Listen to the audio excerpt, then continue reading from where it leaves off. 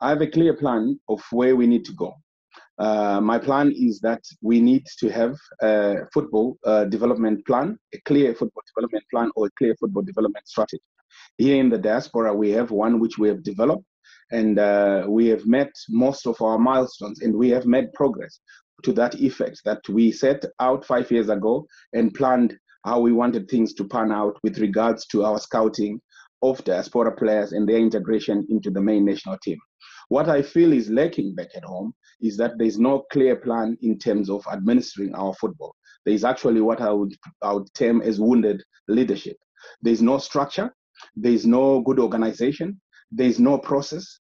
As we speak right now, I'm not even aware if in Zimbabwe we have a football development plan.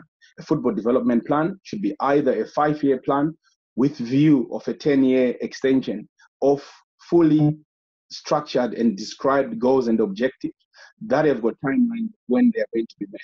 I feel at this particular moment in time, we don't have those things. We don't have a clear plan. If I'm to ask the Football Association, what was our objective this year? What was our list of to do this year to achieve?